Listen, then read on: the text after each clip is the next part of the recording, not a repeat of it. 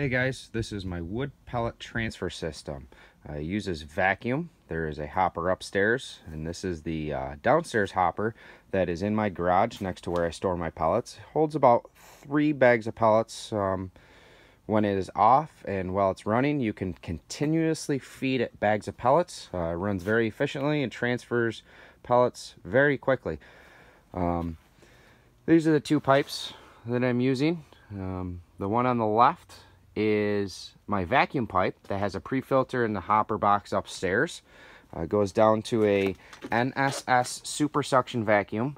It's an old commercial vacuum cleaner. It's got a lot of power. Uh, you can use a shop vac. Um, you're going to want to get one that's got a lot of power. Maybe one of their higher end shop vacs that they offer. The pipe on the right hand side goes to the bottom of the hopper there and that goes upstairs into the upstairs hopper. Uh, notice it is grounded for static electricity. Uh, combustible dust from the wood pellets and static electricity do not make a good combination. You have to have your system grounded. So this is the upstairs hopper. Um, open up the lid here. The one on the right hand side is the vacuum pipe. It's got a pre-filter on it to prevent the pellets from uh, going back downstairs into the vacuum. The one on the left hand side is where the pellets come out of. Um, it is sealed all the way around the edges with a uh, vacuum sealing strip.